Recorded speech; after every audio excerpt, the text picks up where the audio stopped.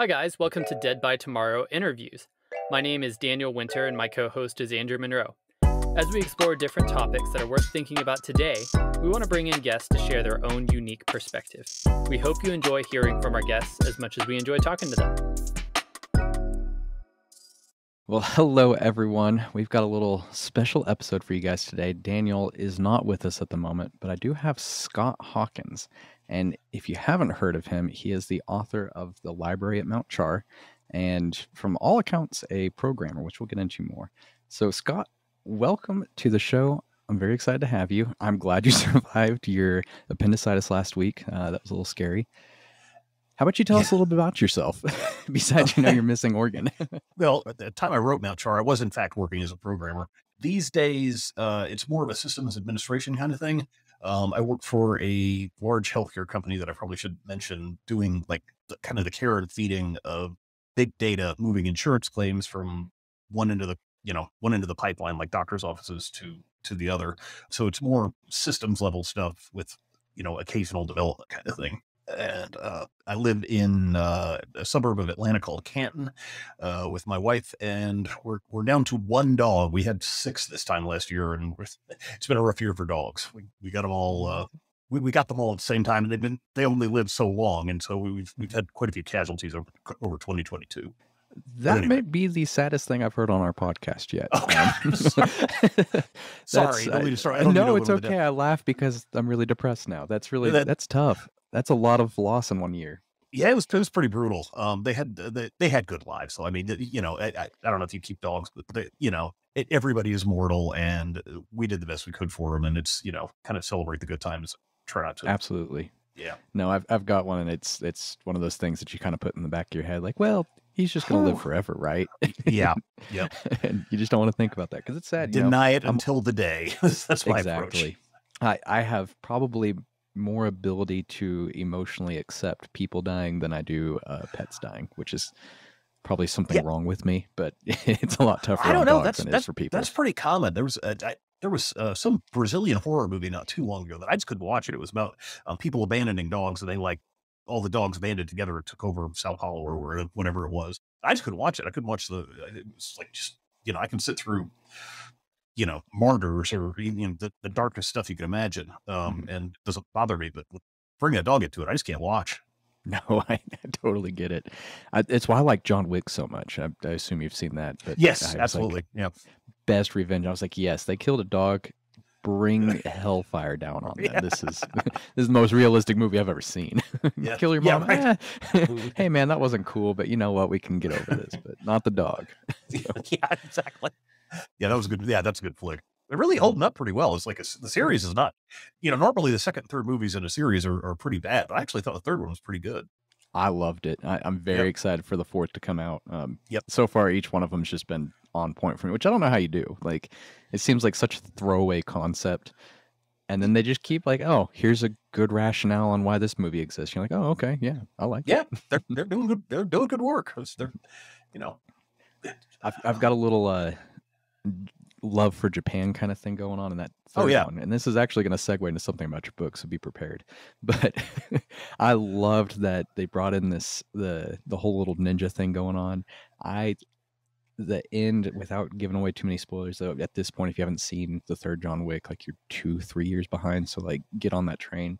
But you know where the guy is dying and he's talking to John Wick and he's like, "Man, that this was great. I love this." You know, he's being really like whatever that is, that almost like respectful, friendly like, "Hey, did you have yeah. as much fun as I did in this combat?" I just that spoke to me on such a level. I loved it. yeah, that's that that was really fun. It's good. The whole yeah, I mean the whole thing is just, you know, it's a little bit over the top but still cool. Mm-hmm. Well, maybe more than a little, but um, yeah, super. Yeah, yeah used okay. a horse as a yeah, gun sorry. or something. I yeah, loved that. Right. I loved it. Yeah, but that, that was what I was like. Oh, okay, these guys are they're really going for it. They're just having fun. I, I don't know if you knew this, uh, and I promise we'll, we'll get to the book. Uh, the guy who made the movies, who directed them, was actually his stunt double from The Matrix, I think. And because oh no, I didn't know that. Yeah, he he took care of him so well. Uh, Keanu Reeves took care of his stunt double so well. The guy ended up becoming a director, and then maybe not exactly as a thank you, but as a like, hey, I really liked working with you, and you know, you kind of made me who I am. let's make a movie specifically for you as Keanu Reeves, and that's where John Wick came from. Was basically his stunt double became a director. and Was like, this is the movie made for Keanu Reeves to play to his strengths. So That's really cool. I did I didn't know that. I knew I knew the story about Keanu like uh take you know financially he gave a lot of his salary to like the FX guys on the on the Matrix. Um and that um so yeah, that's actually that he's sounds like cool Keanu. guy. Yeah. I wish I could be like him. I'm I'm not as kind-hearted or as uh, wholesome as Keanu Reeves is. Keanu Reeves is like to someone kill my yeah. dog. Keanu Reeves and Mr. Rogers, man. Those are the two. Oh, that's, yeah. we, that's what America needs. Yeah. Jeez. If only more people were like him. Yeah. Okay, so I obviously I'm a fan of your book, right? Uh, that's why I reached Thank out. you. Thank you. That you did a great job. Um, we won't, you know, make you suffer through too many compliments here because I know that's can be awkward. But I was rereading the book in preparation for you coming on because I was like, you know, it's been a little bit. It, it's been five years, I think, since I read it, uh, and that's that's really actually how we got here. Was I was like, man, I wonder if Scott's come out with another book. I'll go look Yeah. around and, uh, you know, I was like, well, I'll reach out to him. You know, love to chat with him. So I was re-listening to it, and there's two things that came up. One, you seem to have a pretty, maybe not heavy Asian influence, but you, you seem to have a lot of Japanese things that kind of bled in from another guy who likes Japanese stuff. Was I reading too much into that, or is that something that falls into your wheelhouse? No, it is. Um, I, I actually took Japanese in college. It's the only language I ever studied in any depth, uh, and that's where a lot of that came from. So you get, you know, was interested in the culture and um, uh, that that kind of thing. And I didn't. I at the time I, I was never honestly. I really wasn't very good at it. I studied for about three years, and you know, I was trying to watch Japanese movies, and it's just it's a tough language. Uh, but I, yes, you're you're absolutely right about that. I am I I am and I was and am interested. That is funny because that is exactly if, if you I was to describe my dabbling in Japanese, that was that's what mine was. Three years in college, got really into it. Really started with wanting to you know kind of watch stuff in Japanese. Got heavily into it for throughout three years, getting a minor, and then uh, you know things kind of fall away. But like I still have kind of that cultural and language kind of view or perspective or lens added on to my traditional American you know, viewpoint. Yeah. So that's what really stood. I was like, oh, he looks like he did more than just Google a couple uh, Japanese words here, but you know, I'm no expert. Yeah, yeah, yeah. There were, um, yeah. I mean, the, the, it was actually it was a really cool class. The guy, uh, the, the the school I went to had uh like a, an international business department where like it was just totally immersive. Um, Mhm. and they would, you know, and so like all the students for Japanese lived on the Japanese floor in some particular dorm, and the, the professor that I took studied under most um ran all that. So he would give it. I wasn't in that depart. I wasn't in that program, but um a lot of the kind of they would have activities for you know Japanese uh you know culture and that we were invited to them if we wanted to come and I did sometimes. So it was, it was a good experience. That's awesome. Do you have a favorite was. word in Japanese that you still like hang on to? Um yeah, uh Ishinoe ni sanin this, uh 3 years on a stone. So the idea was that if you sit on a stone for 3 years your body heat will warm it up and you know the idea being that patience uh is the way to accomplish your goals. That is a great idiom. I don't think I've I've heard that. I love that one. Oh, that's good. I'll have to add that into the show notes so we can keep it going. that's great. I my personal is gombaru. I just thought that was just the coolest little word that doesn't exactly translate into English. But now I've got to come up with something a lot fancier, you know, for next time. Okay. Well, it's been a uh, like I said, that's that's the one that stuck with me after uh, kind of thirty years now. I think. Um, that's that's a long time to try and remember stuff because I, I assume you're in the same boat as me, and it's just where's the time to practice that language that nobody in Yeah. here speaks, you know, outside of Japan. yeah, yeah, that's it's it's tough to. I uh, a buddy of mine um was going to Japan a couple of years ago. We practiced a little bit, but it was you know neither one of us were native speakers. So well, we can find the bathroom. yeah, right, exactly. there you go. So something else that uh came up while I was doing my reread on this that I was curious about again because of hypothetically shared experiences. You seem to have a a bit of a I'm trying to think of the right word here. More knowledge than Google might give you about breaking and entering into places. So hypothetically, was that something that one of your friends maybe did? Because No, I re- hypothetically, I might have had something similar. Nothing like nothing like that. I had uh, I read a lot of true crime books. Uh, like not, not I don't. I'm- My wife my wife likes the like the the you know somebody got murdered kind of true crime books. Uh huh. You know, uh, I'm more on the like bank robbers and uh uh you know burglars and that that into the scale. I just think I don't know. I don't know why. I just think that stuff's interesting. Um, so I've read I've read a lot of memoirs by people who were you know ultimately unsuccessful. Otherwise, they would never write a memoir. But I, I don't know. That's that sort of stuff just always really interested me. I got you. Wink. Uh, understood. Yeah, Wink. yeah, yeah, yeah. Not and you know I, there was a certain amount of juvenile delinquency in my background, so Well- I, I, I never to the point of breaking and entering. See, uh, we we never tried to, and I- I'll say we in a royal sense. Um, you know, everybody's got to have their little phase that they go through. I guess you could say. And some people, it's you know alcoholism or whatever. But Yeah. I uh, I got really into getting into buildings that I wasn't supposed to necessarily Yeah. in college. We didn't Like the you know ex- take exploring thing, anything. yeah. yeah, Yeah. It was just urban exploring. I think was the term at the time, and it was kind of popular online. But you know, just finding ways to get into places that you weren't supposed to, and you know, we had lock picks and bolt cutters, you know, Yeah. all the stuff. And uh, you Yeah. know, we'll leave it Yep. at that. But it, it was a great time, uh, very dangerous, but I had a blast. And so I was reading through the book. I was like, I, you know, Yeah, it seems like stuff that I would, you know, yeah, to have a little insider knowledge on. Yeah, I mean, I played around with it, but uh, nothing. You know, exactly. uh, it's just play, and you know. the, the statute of limitation is up, and I I never hurt anybody. So exactly. Yeah, that's that's the goal. So those were there's just a couple of things I thought was pretty interesting that popped out on the second read through. Uh, So, oh yeah, the internet's forever. This is going to show up next time I do a job interview. no, no, it's been a long time. It, you know, 30 years plus, you're safe. You're safe. so, how did you you became a coder?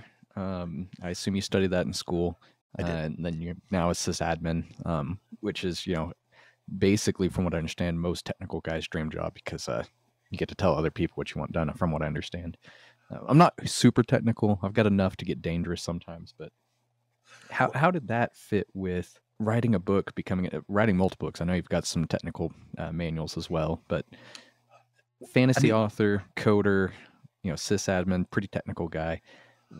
What do you see yourself more of, and how did the two kind of branch out? Like those don't usually go together. I guess is what I'm getting at. Yeah, I gotcha. I um, I mean, it it seems like they wouldn't, but here's the thing. Um, I've talked. To, I talked. I always wanted to write. Getting a novel, being a novelist was always my goal. Um, and I was thinking about this in, in you know in college when I was picking a major and stuff, and I read.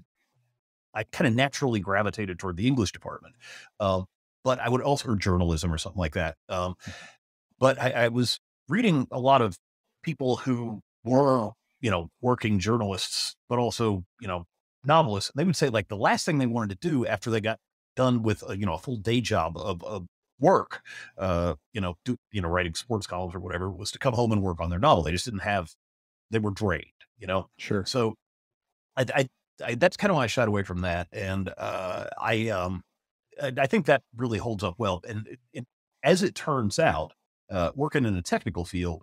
Um, really is is a nice complementary skill set to uh, to you know kind of it uses I guess the analytical part of your brain, and you don't have to spend a whole lot of time talking. You're more staring at the screen and typing. Um, but then at the end of the day, you can go be verbal um, uh, and uh, exercises. uh, It, it doesn't feel like work when I. It feels like a vacation when I'm going to do the the, the writing part, um, as opposed to just you know an extension of my day job. Um, so I, in that in that I actually think that would work out really well. And Uh, I so just you got get kinda kind of get to work two sides of the coin, kind of there. You know, hey, here's here's this analytical, we'll call it right brain side, and that kind of eats up that energy space, and you get to go to the left brain side afterwards and kind of reinvigorate yourself working on something completely different. Exactly. Exactly. I, I like that. That makes sense. Yeah. And, And it- the oh, go ahead. The flip the flip side of it is this is actually really interesting. I since since I got published, I don't know why this is true, but I I, I almost have no interest in reading fiction. Um, very little, maybe one, maybe one out of ten books I read these days is fiction. I'm all, I'm, I'm all about the history and the memoirs and, and that kind of thing. And I used to read that was novels used to be all I read, but it kind of feels like work now. I mean, I'm like reading through this other, know, I'm like, oh, you know, you kind of your uh, your own critical editor kicks in when you're reading somebody else's work and it becomes work. If that makes sense. you you start dissecting like how how did they you know tie these Yeah, two exactly. things together you know you're looking for the tools you're looking for that the back end now instead of enjoying the fiction Exactly, i, get that i've run into the same Yeah. problem Yeah. you got to I- turn your brain off completely unanticipated and not, honestly not really all that not something I would have asked. I, I'm not I'm not super happy about it, but that just seems to be the way it worked out. That if I'm you know if I'm writing, I just I got I got to read something other than fiction to unwind. Yeah. I get it. No, that's I do think that's a trade-off because you you went through that whole process and you know, in your case I imagine it took a lot because you have a very clever book and I assume, you know, that is not something that just happens. And so now Yeah. you're looking at what other authors are doing like, "Oh, that was clever. How'd they do that?" "Oh, I see." And you you're recognizing the bones of somebody else doing the same work you did and yeah, that's that's tough. Bad Yes, trade-off. Don't become a writer, guys. Uh, if you like reading. Yeah, it's honestly, yeah, I, I think that's fair. So you released that. That was 2015, correct? Sounds right. Yeah. So something like this. It wasn't last year. Um, no. Yeah. Now, to me, you had an incredibly successful book. Like Library at Mount Char. You know, that's how I found it. You know, bestseller list. Lots of people talking about it. Goodreads, the whole nine yards. Does that mean, you know, does that? Do you consider yourself a successful, you know, novelist now, or was that just one of those things that kind of pushed away and you still see yourself more as a successful career tech guy that just happened to have a book that you know made some money Ooh, tough i assume question. made some money i guess i'm making assumptions there but Yeah, it did okay. It, I mean, financially did okay. You can't retire off of it, but it didn't hurt anything. sure Um, yeah. Uh, so I mean, God, I don't. I, like I said, I always thought of myself as a writer first, and that was true even before the book the book got published. Um, but uh, I, as you put, you know, kind of, it, it's true that it's been since 2015, and I have written other stuff since then. Just nobody's liked it much. So I mean, I don't know. Yeah, I'm not sure what to make of that. I, I, uh, I maybe you can't catch lightning in a bottle more than once, or or in. I, I always thought that it would be like somebody like you know Stephen King or John Grisham once you broke through and you know had a fairly solid reader base, um, that it would hopefully not be too much trouble to get to the second book. But uh, if for whatever reason, in my case, it's just not happening. Um, uh, I've, I've uh, I'm going. I'm, I haven't given up yet, but I'm kind of on a hiatus at the moment. sure well it, stephen king's a he's an Yeah. anomaly like Yeah, Stephen King is a know, machine. I, Yeah, I don't understand. I don't. Yeah. Whew. some of these guys have a tap and they can just turn it on uh uh, you know you look at other authors out there and there's people that you know i'll read about somebody and i'll be like wow they were a really successful author and then it's like wow they published like one book every 10 years and they ended up publishing six total books and you're like oh Yeah. Yeah. okay so uh, there's there's a lot of you know gaps in there sanderson's one of my favorite authors and that Yep. guy puts out like three books a year Yeah, it's crazy. it's just it, it's don't know how hard to they do keep up reading it I know, right? Much, they're much huge. They're huge books. But uh, yeah, Stephen King's in the same boat. You know, he is one a year at minimum. It seems that's just outrageous to me. Uh, I don't know how he does it. I really, I, I saw a thing with him and George R. R. Martin were uh, kind of on stage somewhere, and um, George, you know, it, it- George is you know still kind of working on Winds of Winter um, Uh-huh. to this day, I think, and he's like, "How do you do it?" to Stephen King, and he's like, "Oh." It's so I mean, it's not just me. So, um, I, I yeah, Stephen Stephen King's an anomaly. He's that guy is I yeah. Yeah. I didn't fully appreciate just how much of an anomaly until I actually got into a position where I had book number two. Yeah, when you're like, hey, wait a second, I've got to do this, and Yeah. this is Yeah. hard. It, yeah, yeah. no, I get it. What does your uh, wife think about it? Does she is she a big reader as well? Uh, Oh yeah, she is. Um, she, there, yeah, you, it's kind of an inside joke. Um, I, you know, at the end, uh, the very last part about Char, Erwin is in um, um, prison and he's reading Janet Evanovich. I have not personally read much Janet Ivanovich. Or she did a How to Write book that I read, um, but my wife loves her and she's just cackling over there on the you know on the other side of the bed. Um, and apparently, and you know, that's the, she's got this whole series of of uh, you know, one for the money and da da da da, da uh, and they just get progressively more insane the longer my wife reads. They've got like a, a, a, a tele, like a talking monkey or something, or maybe I I can't remember. He's a magic monkey or a talking monkey or something like that, and she's just cackling over there about it. So, um, yes, she's a big reader as well. Not the same That's- stuff, but and, and that was it's great juxtaposition because you've got this you know hardened military guy and yeah, i think you had that in that prison scene where he's like you know the guard's like oh really and he's like look i can do whatever i want and it's just you, you set it up so well because that is a thing that a lot of people you know i haven't read janet and that's part of it i'm like well i'm you know i'm a dude and you know i, I, Yeah, I need manly. swords and manly stuff so we our tastes are kind of you know, I lack that self confidence that your character Erwin, you know, has. yeah, yeah. And I mean, there's a, there's a thing. You know, you're supposed to really kind of. One of the tips that I got at a writing workshop was that when you have, uh, you want your characters to have two completely opposite traits in, in a lot of cases. Um, so like you know, David, uh, I don't not to get too spoilery, uh, you know, being like this killing machine, but he's wearing a tutu, which is not like the most, you know, it, it looks ridiculous. But sure. it, yeah, uh, so you know that kind of stuff. But he and he was mean to everybody, but he loved that that old woman in the whose house they were staying at. You know, they all thought he was going to like kill her when she made him wash his hands, and he's like, "No, thanks, Grandma," and you know, she gave him a little kiss on the cheek or whatever. Um, so everybody's got a soft spot, and even the the mean ones have a nice spot, and the nice ones have a mean spot, kind of thing.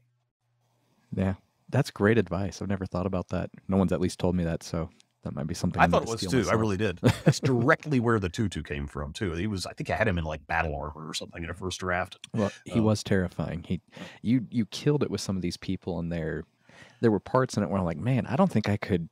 I wouldn't be able to think about that because that's not something I could have done.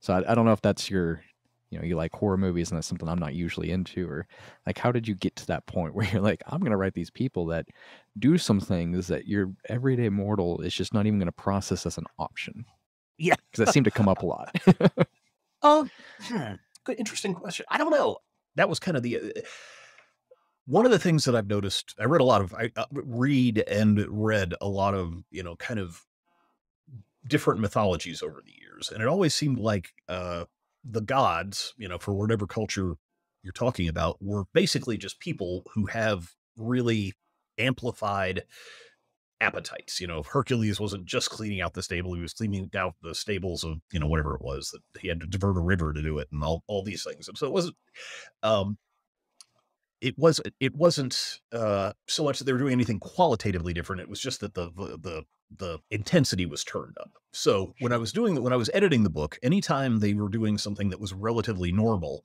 uh, I would try to take it and just like turn it up to ten or past ten.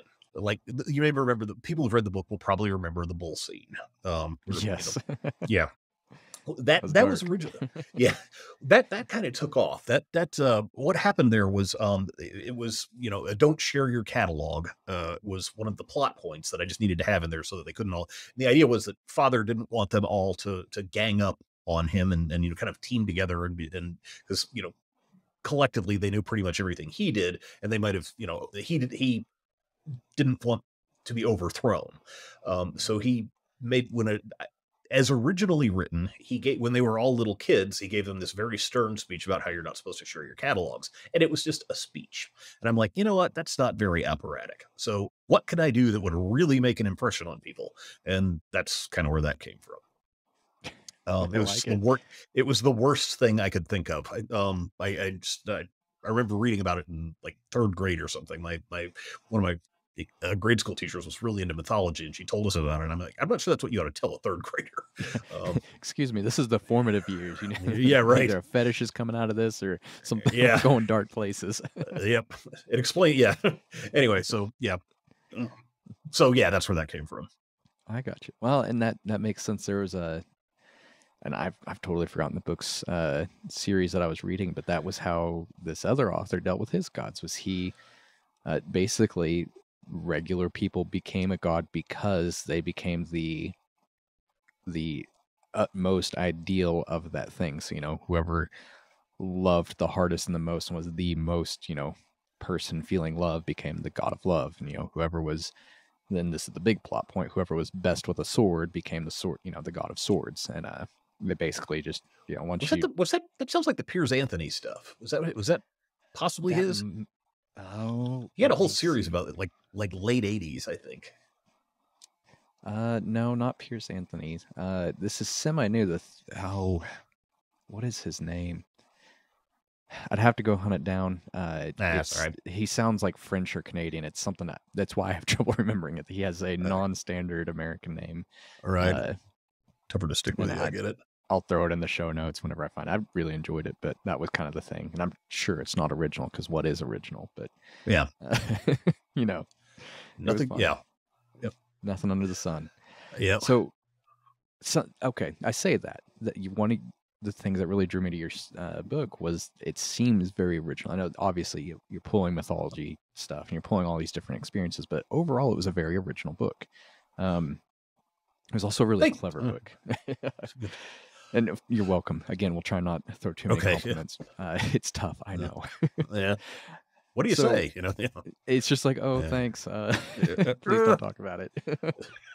so you uh you had some and I, hopefully you haven't read many of the reviews because I think that's bad for people. But uh, you have a bunch of really negative reviews about people not getting it. Do you think you might have written a book that was maybe too smart for some of the masses? I don't know. People like what they like. I mean, it's I, I really I I I am one hundred percent uh, on. The, this is like one of my my core cornerstones of my belief system or whatever is that you're allowed to enjoy whatever you enjoy and vice versa. I Uh-huh. I, I I will. That is a hill I am prepared to die on because I mean you get. Uh, you know, like if you're on, if you have, if you've ever been on the internet, you know that as soon as somebody likes something, that somebody else will come along and tell them why they shouldn't have liked it. That just drives me Yes. absolutely crazy. Um, so and, and the flip side of that is if you didn't like it, you didn't like it. You know, okay, that's there's other side. but Sorry, um, I'll try harder next time, or you know, move on. You know, it's there. Once it's out in the world, there's really not much you can do about it. I'm glad. I'm glad a lot of people liked it, and I'm sorry the other ones didn't. And that's really about it. That it doesn't honestly didn't hurt my feelings that much.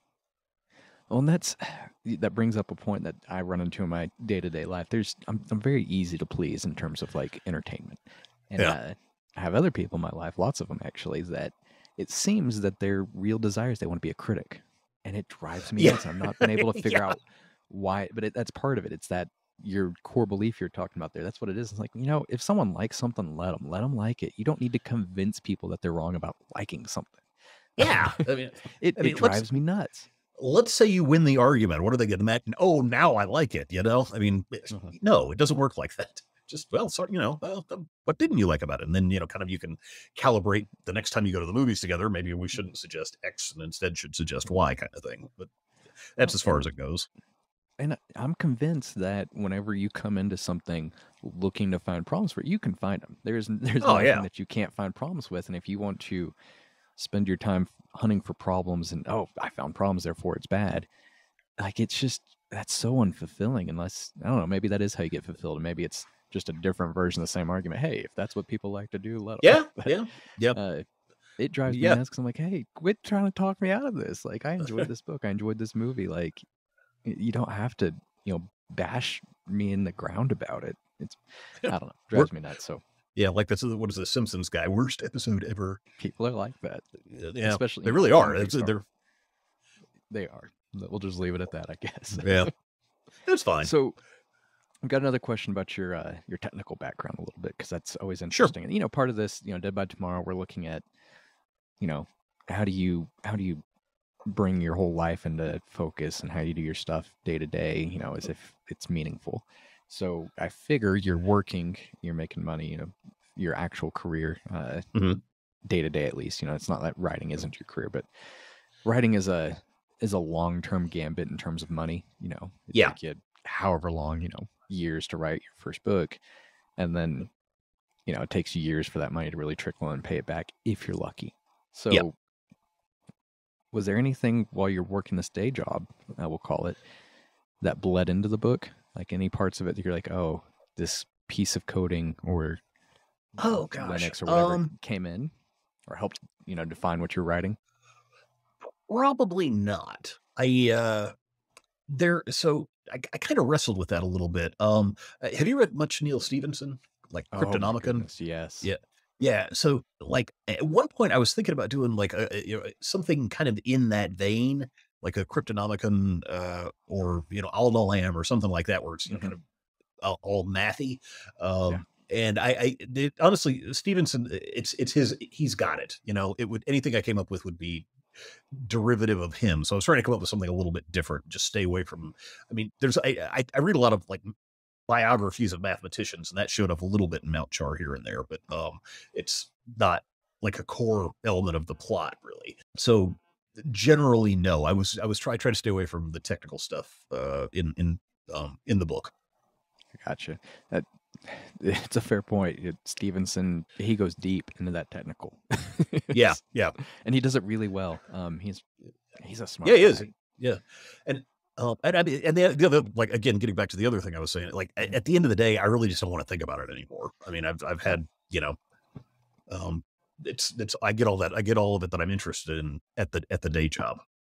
I got you. And that's that's a hard line to kind of draw in the sand. I would think for a lot of people. So that's impressive uh, that you're like, nope, this is where you're gonna stay, and I'm I'm not gonna flex my technical prowess in this book I'm writing. A lot of people kind of want to blend those both worlds together. Yeah, And I, I, could see. didn't I, see anything. Then I was that's why I was asking. I was like, I didn't really notice it. You know, maybe some of the the structure you're using could have been related to you know logical. But I, I couldn't find it. That's why I was asking. no, it, it probably wasn't there. Um, I, I just and honestly, it's, it wasn't even really like a, a hard decision for me. I just, uh, like I said, I, I um, when by the time I'm done with the technical day job, I want I, that's the last thing I want to do more of. That's totally understandable. Yeah. So you've talked about uh, Stephenson and King and some of these guys. Do you? I mean, I know you said that partly uh, reading fiction's kind of gotten off topic for you, or at least out of your daily schedule. Do you have a favorite author that you're like, man, if I could just read this guy or girl, this is who I'd read? Or you know, was there someone beforehand that then shifted? Oh gosh, um, I mean, I've got probably half a dozen uh, that I would consider favorites. Um, so uh, Thomas Harris, who wrote The Silence of the Lambs and all the Hannibal Lecter stuff, is I, I think just absolutely brilliant. I, I love him. Um, he's not. I don't think he's he's has he only recently he put one out a couple of years ago. Um, that I don't think did quite as well as some of his others, and I think he's semi-retired now. But I absolutely admire his stuff and would encourage anybody who would to anybody who's interested in the thriller side of things to, to read him. He's got some. He, he's he's really good with taking characters that are just monsters and making them you know ever so slightly sympathetic. Um, Red Dragon was just the the the the pinnacle of that for me. The guy was like I, I don't know how familiar you are with the story, but the the, main the main bad guy was a serial killer and obviously not very sympathetic but when you read about his childhood it was hard not to feel at least a twinge for the guy um, that you know monsters aren't born they're made kind of thing um, so Thomas Harris is I see where that was in your writing too. yeah yeah exactly yeah that was that was directly out of Thomas Harris I, I Yep. yep the copy paste kind of thing Mhm, um, I really enjoyed Joe Haldeman, who's a science, straight science fiction writer for the most part. Uh, I think he's also retired. Uh, Stephen King, um, Neil Gaiman, uh, um, and you know, I've got I've got three thousand books. I like them all for one reason or another, but those are probably Yeah. the those are among the people who I'll pick up without reading the blurb. Yeah, you see that author, and you're like, yes, and and that's probably a better way. Thank you for that. Next time I phrase that question to somebody, you know, who's the author you pick up without even reading about? it? They have a book. Out, Yeah. It's like, yep, Yep. reading that. Neil, no, I get that's a good way to put it. Yeah, Did you see uh, Neil Gaiman's releasing an album? is he? No, I didn't know that. He uh he just dropped a single, and uh, let me preface this with I am not a music person. Like Yeah, me I either. listen to audiobooks when I'm working out, when I'm driving. Yeah, me like, too. Yeah. It's it's all the time. So Yep. and it's weird for uh, we'll call them regular people because they're like, oh, what do you like listen Yeah. to like audiobooks? And they're like, well, I meant like music. I was like, I don't know. Like there's some alternative rock in there if I really need to pump up or like. You know, there's some things from high school Yeah. or middle school or whatever. but, like, Exactly. uh, Yeah, my, my I don't know. That's that's exact. You're the you're the only one I've ever met who's I'm, the- I'm the exact same way. I swear to God. Then I, you uh, get it. dri- yeah, drives my wife nuts. She's she's all you know American Idol and all that. Um, Everyone. It, People look at me like I'm a, a serial killer, and I'm just like, look, it's just I don't know. It's music. I don't. yeah, Uh, it doesn't do it. much We for me. Yeah, We don't want to turn everybody else off because we're, we're the only two people in this entire world. Uh, Yeah. it's goofy. yeah, that may be true. Yeah, But so saying that, it's I'm not usually plugged into the music scene, but because it was Neil Gaiman, it kicked up into my, you know, whatever algorithms run my life at this point and was like, hey, Neil Gaiman's got this thing. And I was like, that is that the same Neil Gaiman? I listened to it and sure enough, he uh he composed an entire album hooked up with a string quartet that he really liked. And they dropped a single for Halloween basically, and it's just it kind of fun little Halloween single with the string quartet, and they're gonna release the whole album later on in 2023, I think. So No check kidding. It, out. it was kind of fun. Yeah, I will. I'll do, I'll do that. I had no idea. Mhm. I saw a comment that they're like Neil Gaiman's just gonna take over the entire uh, artistic, you know, Yeah. creativity space. And uh, I was like, that's true. He just he doesn't stop. He's got tired of you know comic books, and now he's doing it's just everything. He touches everything. He's Yeah, he's yeah, he really is. He's he's just an amazing talent. It, does that make it hard for you? I know for me, I I struggle, and I'm obviously nowhere near the success of your book. But like seeing people like Gaiman or King or Sanderson or any of these guys, it where you talked about like you know I don't want to be derivative of Stephenson. It makes it hard because like I love this book, but I don't think I can I can do what they're doing. How do you walk that line between people you love reading or even Oh, watching? I yeah, it's- it. It's tough. Yeah, it is. It's tough. Um, hmm. I guess uh, in the writing process, if I, you just kind of you, you got to do it with a clear. To me, like I just don't feel good about it if it's something that's blatantly consciously. If if I if I notice that, oh yeah, you know Neil Gaiman did X in, in terms of plot points or something in one of his books, or Stephen King did X in, plot, in as a plot point in some of his books. I'll try to stay away from that, but I think it's fair play to kind of analyze their body of work and look at the techniques they use.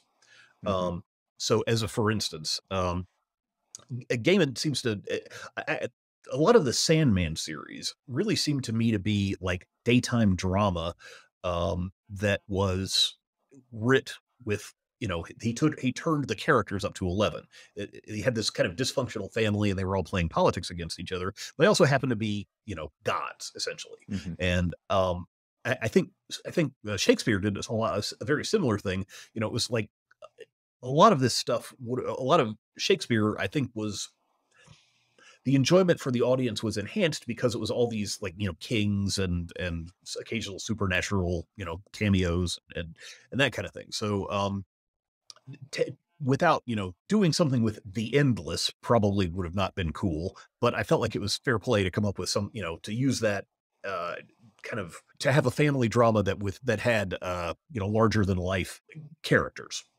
or I gotcha. characters with larger than life skill sets. So that was fair play. So in that sense that that's kind of where i draw the line. Plot points no. Techniques yes. I see. So, and that's also what you're talking about, where it becomes uh, problematic to read other fiction.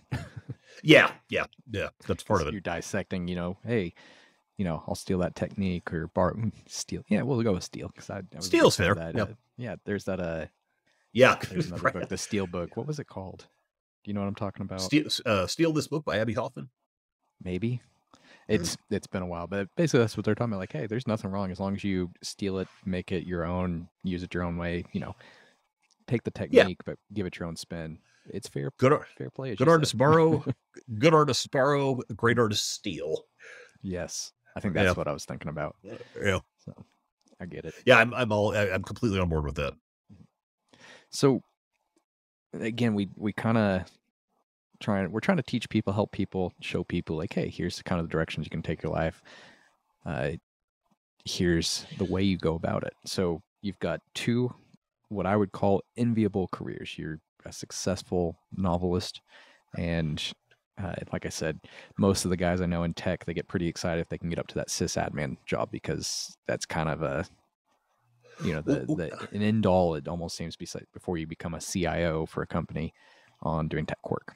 Had, what did you what did you do to get there? You know, first on the book was there like a you sat down every day and wrote for three hours at from five to seven or seven p.m. to nine p.m. and then you know what was the career jump to go from a coder to a sysadmin or was it just kind of fell in your lap? Well, it's kind of a. it I mean, it was kind of a. Um, well, I've bounced back and forth between a lot. I've I've had a lot of hats. I've worn a lot of hats in the technical field. I did. I started out as like a DBA, and then um, I wrote the. I wrote a Linux book back in like 2000 or 99 or something like that. That really got me like comfortable with like the the deep workings of like Linux, and that's been a really nice kind of fallback all through my career. Just it's good stuff to know if I'm if you're working in a Linux environment, having that like kind of solid base of just what every command does and kind of thing um, is is handy. Um, uh, coding, I I just I I think it's more of a young man's game. Um, I'm probably I just don't have the the energy and drive for it that I kind of used to. I mean, some of these guys are the guys that I work with. Um, are are just absolutely super sharp uh, Java guys, and uh, I'm, I'm my my role is more like support and debug. So honestly, I would say it's not like the pinnacle of the tech field. It's it's this is more of a you know like a linebacker as opposed to the quarterback kind of thing. Well, I am happy to stand corrected. Like I said, I I don't go into that world. My my world's internet. yeah, yeah. So I mean, but everybody, you know, everybody, but everybody contributes in their own way, et cetera, et cetera. Mm-hmm. But um, I'm, it's a good, it is a good job. I mean, there's nothing wrong with it. It's just like uh, you, if you want to rock the, the guys who are really driving the the train or, or the coders. Mm-hmm. I gotcha. So, what did you start out with? Was it Linux? Uh, my first job was on. Uh, no, it was it was like AT and T Unix, I think. But this, this was like '93, I think. So I don't even remember anymore. It was I, there was a database called Informix, um, and I was doing programming with uh, something called Informix 4, 4GL that you probably never even heard of. It died out mm-hmm. I don't know 15, 15, years ago, and then just you know one thing I hopped to another. I did a lot of uh, systems programming in C for a while. Uh, I did some web development, uh, ran some web servers, um, uh, then did kind of like tool smithing for uh, long pipelines, um, and ended up. What I'm working on now is something is a product called Hadoop, which is a big data kind of ecosystem that uh, lets you hold like petabyte scale databases and move stuff through them and that kind of thing. But that's probably not the core of the interview. so I'll just I'll let it go with that.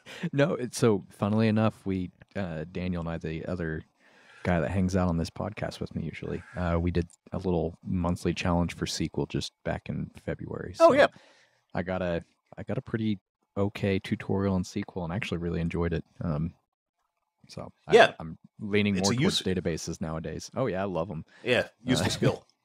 we were working on, and this is just a little sidebar on it. Uh, and it was one of those things I was like, I didn't know the solution, you know, six months ago, but we're working on this application for uh, Uh, getting some government grant money. And they dropped us this CSV with, it was like 900,000 rows, which is why you have a database because Excel or Google Sheets or any of these guys, they can't handle that kind of data.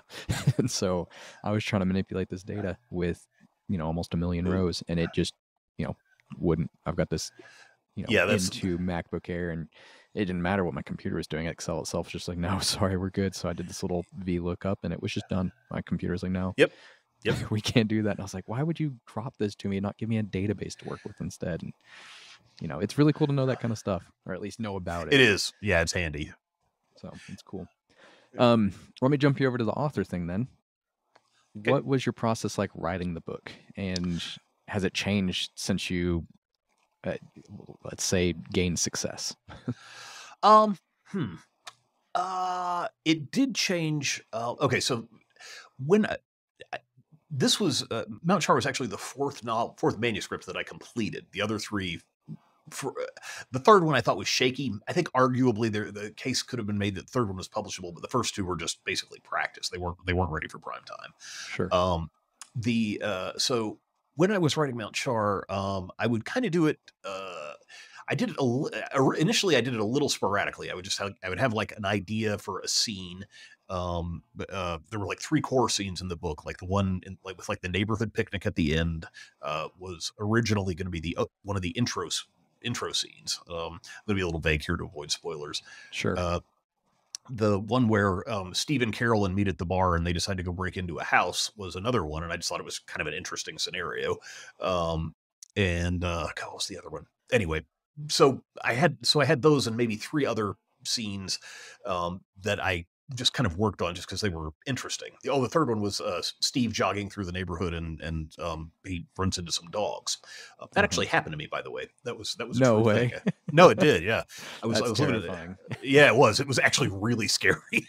um, I mean, they didn't obviously didn't maul me, but it was like this kind of a like it was this neighborhood where uh, the houses weren't the, the, neighborhood wasn't fully developed the street ran down maybe a half mile past where i was living at the time and in the woods it was where people would go to drop off all their strays so there was this pack of stray dogs living oh. in there oh. and they weren't happy to, they were not happy to see me and i was like man they were they chased me for about half a block before and i was like ah get me out of here scariest scariest thing in my life everybody thinks they're tough until you actually run up to an animal that's ready to have some beef with you, and you go, "Oh, you yeah. know what? These these human hands and human teeth are not prepared for just yeah. anything. this Chihuahua's gonna take me." Yeah, right. That's wild. Yeah. So I wrote those down and I was just kind of trying to think about ways to like rearrange them and string them out uh, or re- uh, rearrange them and maybe string them together. What, you know, what, what could the storyline be here that would connect these three things? And that, and I, so I, I would like write one and then think about it for a couple weeks, then write another one and think about it for a couple weeks. And I was a lot slower and more, um, I, I, I mean, I was eh, at that point, I'd been failing to get anything published for like 25 years. I was mostly just doing it as a hobby. I kind of enjoy it. Uh, mm-hmm. and, and eventually I was like, oh, hey, I know how to, I know how to put all this together. And so then I sat down and got into a very focused about six months, um, where that was really all I did. Uh, and you know, that, that ended up working out. Um, after the book, after it got published, I did try to, I, I, did go through a period of about five years where I was writing every day and I put together two completed manuscripts and one half manuscript that nobody liked. Um, so they that's I mean it wasn't that, that I wasn't working. Yeah, yeah, it's you know, but, but at least I got one. Yeah. Um, at least I got one out there, and I haven't given up, but I, I've, I've kind of I've been on hiatus for the last couple months. Sure. So, how did you find? Did you go find an agent? Did you find the publisher directly? You know, how did you actually yes. get to the big leagues? I guess.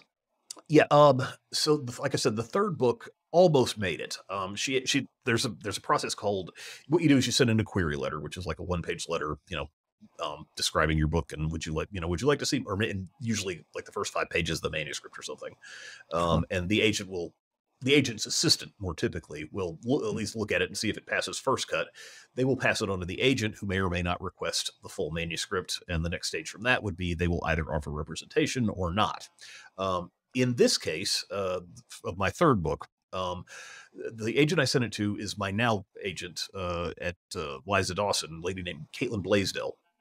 Um, she read the third book, liked it well enough to, to like read the entire manuscript and said it what she didn't think it was going to sell, um, but get back to her with uh, whatever I came up with next. So that was I don't know probably five years before Mount Char came out, uh, or before I wrote Mount Char. Um, so five years later, five was like, well, I've, you know, just getting just having an agent willing to put eyes on your manuscript is a big step. That's, that's yeah. I mean, it's it's a hugely competitive process. So I I you know workshopped it to death and polished it as best I could, and then queried the agent, and everything really went pretty quick from there. She read it pretty much overnight, offered representation within a week or so, and had, had we we did like a, a couple, we maybe two months worth of rewrites, um, and then it sold like first week out. Wow, big! I bet big that was day. a bit of a whirlwind. best, yeah, man. I, oh, I was on top. I was on top of the world. I mean, I was really some of the best days of my life. So you don't really, me... you don't really appreciate succeeding at something until you failed at it for like three decades. I mean, yeah, Ronald Reagan. someone Ronald, gives you that. yeah. Ronald Reagan was president when I first started sending in manuscripts.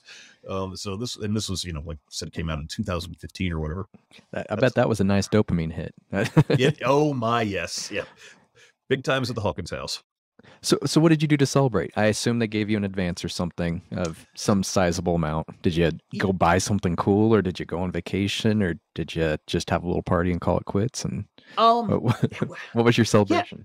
Well, we, I mean, we went out to dinner that night. They, you know, they, they don't like the, the, advances come. I think you get uh, typically you get like a like twenty five percent of the advance on. Uh, I forget how it works. It was twenty five percent on signing and twenty five percent on editorial completion, another 25% on publication or something like that. And, and I'm missing a 25% somewhere, obviously. Mm-hmm. So it wasn't like I immediately had this big check. Um, but, uh, you know, I knew the money was coming trickling in and, um, I, I used it. I, I, used it to move house. Honestly, I, I, put a down payment on it on a, on a, on a place a few miles down the road from where I'd been living, um, which is where I'm at now. Oh, I gotcha. Well, that sounds like a worthwhile use of your money. Then it sounds like yeah. it led in good directions. Yes, yes, it did. And this, yeah. So y'all weren't uh, together whenever you first published. Uh, oh, um, y'all who? Uh, you and your wife. Well, no, we, sorry, yeah. Um, we were we had just gotten married when. Uh, oh, okay. Yeah, uh, I think when the book came out, we had just gotten married. But I, as I was writing it, we were we were just kind of we'd been together for like five years at that point. So I mean, and we, neither of us has any kids. So well, we both have previously married. Neither of us has kid as kids. So I mean, it wasn't the difference between married and and the transition between married and not, or not married and married wasn't a particularly dramatic one. It was really just we went out to Vegas and Elvis married us. Um, so it, did, it didn't Wait, did change that a really happen? Yeah, no, that, that really That's did. awesome. Oh yeah. Got married by Elvis. Oh. he did a good job too. I definitely recommend the Elvis. And uh, I mean, you, you, you know, wedding planning isn't, I don't think anybody's idea of a good time. And she just, she just No. wanted the, yeah, uh, That's she fun. wanted the white dress. So that was all we did. I, I go to Vegas probably a little too much. And oh, do you? Yeah. Oh yeah, and it's it's always one of those things. I'm like, I can see it, and they have some nice places. You know, all the the hotels they've got some really much better, at least in Amarillo, Texas, uh, chapels or you know places to get married, and uh, I can see the appeal. Uh, take Yeah, all the headache yep. out. You know, if you want to invite people, Vegas is there. Everybody likes to go to Vegas. You know, Yep. I like it. Buddy, That's cool. buddy, good buddy, good friend of ours uh, did the same thing. He it was years before I met him. Um, he and his wife, uh, they there's like a drive-through wedding chapel in Vegas, and that's what they did. No way. Yeah, a, a literal drive-through. Uh, so they were passing. They were going from Cal, passing through on their way from California to Georgia. And well, you want to get married? Sure, let's pull in here. You know. That's just Yeah. wild. I haven't Yeah. seen that. I'll next. I'll be back for CES in January. I'll go Yeah, look for it. right. Yeah. see if see if I can find the drive-through. That's Elvis cool. was cool though. I definitely, I definitely recommend Elvis. I didn't, I didn't have to see the drive-through. See, I'm I, I'm not married, and my girlfriend, if that became the uh, the situation, I think I would be in a world of pain if I tried to suggest something like that. Yeah, I mean, it's So, it's all about what the bride wants. It really is. Yep. And, and I'd be in a I'd be in, I think that'd be a blast, honestly, but I, Yeah. I would be overruled very quickly. I'm fairly Yeah. certain. So, yeah, Uh, It- sorry, I had another question with your uh the earnings, just because this is always something interesting to me. Because writing is fun for a lot of people, but making it a career is a whole different ball game. It's not even the same game. Yep. Um, I understand you have to earn out that advance that you were talking about, the twenty five percent. yes. What was your time frame on that? I assume you've earned it out because again, your books seem to have done really well. Yeah, that's a good question. Um, But- I think it was about three years before it earned out. Three years. Were you worried at all? Um, well, you don't have to give the advance back, so I mean, I think Right. anything was anything was gravy. Um, and I mean, Uh-huh. they you there are ways to make a profitable. I have been told. I don't really know what I don't really know what this means specifically, but I've been told that even if a book doesn't earn out its advance, it can still be pretty profitable uh, for the house. So, but earning out your advance is obviously better than not earning it out, and Mhm. I, I did, and it's been it's been several years. So it's I mean, it's still it's, it seems to be selling pretty steadily. Obviously, Um, you still get your royalties uh, monthly, yearly, or something now, right? Yeah, it's biannually. Biannually, twice a year. Yep. Interesting. Uh, Yep. well, that's cool. Congratulations again. Yeah, Um, thank you. I've always just wondered about that because I know there's a lot of people, especially on their you know first published book, and this is completely from a theoretical reading about other people's experiences uh, viewpoint. But I understand a lot of people don't usually earn out their first book, and it's okay because it's like, well, we tried and we'll you know release a couple more books, and we expect down the road we'll start earning out commissions or uh, royalties. Yeah, yeah. I think that I think that's the kind of the general policy. But again, they don't. You know, everybody's deal is a little different. So I I I I, I don't think there's a one size fits all answer. But yeah, I think that's I think that's fair. I gotcha. Are you still in contact like on a regular basis with your agent? Or did she, Yes. uh, um, well, I haven't had much. I haven't had a whole lot to send her lately, so I don't want to like call. You know, i one thing I've noticed. One thing I've noticed about publication or about um the, the publishing industry is the emails tend to be really short and to the point. So it's not like we sit around and like you know gossip or whatever. Um, so I, you know, I check in with her once or twice a year, and uh, you know, have you got anything? Well, not yet, and you know that that's kind of that. So, well, um, luckily they work with multiple people, and it's her day Yeah. job. So, Yeah. you know, she probably doesn't want to take her work home. She's too probably much. she's probably ready to strangle me at this point. I do need to get something out to her. well, I won't tell her. We'll, we'll just not mention that you came on here and you were really busy writing and Yeah. Andrew who.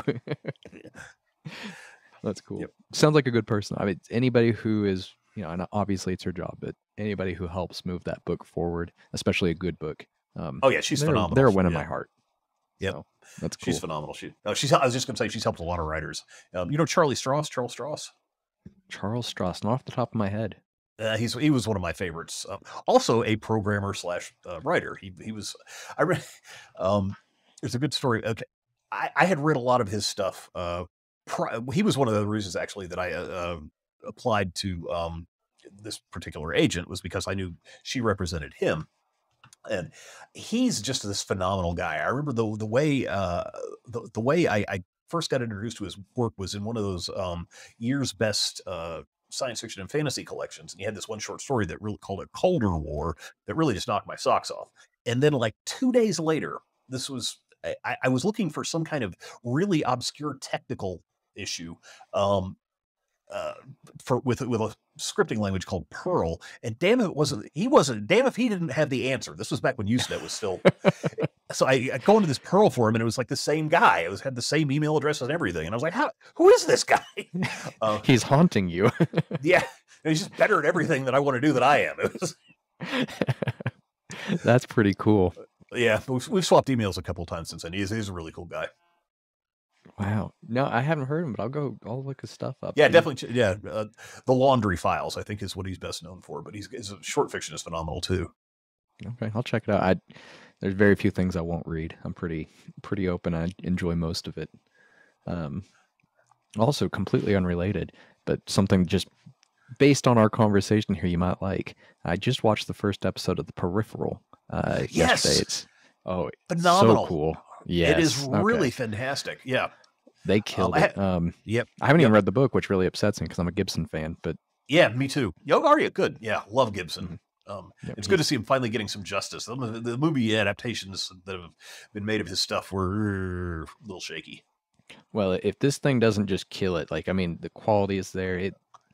Uh, we watched the first episode seriously just last night, and it was just. I was like, "Wow, this is going to be great." I'm excited. So episode two was equally it. good. I with uh, equal, episode two was equally good. Um, I haven't watched the third one that dropped on Friday, but it's probably what I'm gonna do this afternoon. Good, good. Keep me posted on it. Let me know what you think because I'm gonna hit probably the second one. Probably won't be today, but sometime yeah. this week. Hopefully, I'll make some time for it. Uh, they're long. Yeah, yeah. I was not ready for how long the episodes were either. Yeah, me either. Uh, but I'm, i would rather that than not. Well, the same guy did uh, Westworld. But for like the first season of Westworld, honestly, is one of the best things I've ever oh. seen on television. That that makes sense. I hadn't put that together, but I could see the quality. They're yeah, yeah, they're on course. And the intro, the intro should have given it away. Uh, just watching the intro, I was like, man, this reminds me of something else I've watched. And now that you yeah. said Westworld, it just snapped. I was like, oh yeah, that that's what it was. I think it's Jonathan Nolan and maybe a couple of the other partners from uh, from the first season of Westworld. Cool. Well, yeah, for everybody listening, uh, the peripheral is going to be the next hot thing. I hope it was great. It is. So. It is. It's mm-hmm. absolutely phenomenal. Mm-hmm. Well, Scott, I think I've I've eaten up your hour. Is there anything else you want to toss out there? Anything that I haven't asked you that you're like people need to know this about you or your book or you know what you're doing next or anything like that? Um, or you know, a cool quote you got, whatever you want to you know finish this out with. I don't know. I, I, don't honestly. I don't have much. Uh, my only my, own, my only thoughts would be like if you wake up in the middle of the night with a really strong stomach pain, go to the ER. Don't wait. Uh, the, the appendicitis thing. Don't don't torture yourself. Yeah, just get taken care of. Yeah. God, that scares me. I am. I think you know, partly because I'm running around without insurance is probably why it scares me. Oh yeah. Oh boy, that would be scary. and, yeah. Well, and it's one of those things. Most everything else is like, eh, you can kind of blame yourself if something happens to you or not. But uh, appendicitis is just yeah, that's roll of the exactly. dice. It can just get you. yeah, it's, it's like, what did I do to deserve this? I mean, you know. oh, I get it. Yeah. Well, sincerely, thank you for making time. I know you've got a lot of stuff going on in your world. Uh, and you know, it's been like losing an organ. yeah, I didn't lose it. We know just where it is. But yeah. Oh, okay. Well, hopefully you didn't keep it. By the way, uh, no, no well, thank you again. Uh, I really have enjoyed this. It's always fun to meet somebody else who uh, likes books more than music. So yeah, that's worth it by yeah. itself. We should start a club. Yeah, all, all, two of us. We might find a third in you know Japan yeah. or China or something. Yeah, right. Big world. Yeah, triumvirate.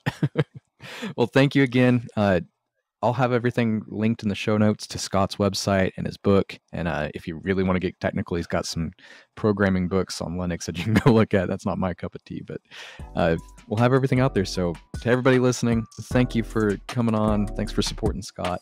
And we look forward to connecting with you soon. Likewise. Thank you very much. It's been a real pleasure.